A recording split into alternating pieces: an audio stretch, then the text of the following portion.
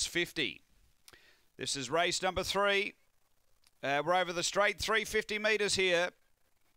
Runners are being placed away, and we're just about ready. The red light green, we're set to go. Favourite in the four, Braemar Prince. Ready? Racing. Step the right, Braemar Prince wanted to track toward the inside a bit, booting up Miss Kohler to go with it. Uh, then Sweet on Me, Plumber and Renew dropped out the back. Uh, Sweet on Me out in the middle might be in the lead, but coming after it, Miss Kohler between them, Braemar Prince. Miss Kohler coming after Sweet on Me, then Braemar Prince. Miss Kohler took the front, and Miss Kohler has beaten uh, Braemar Prince, Sweet on Me, Plumber and Renewed. It was back at the tail end. The time here uh, is around the 1910 mark after race Number three, uh, the money was right. Miss Kohler.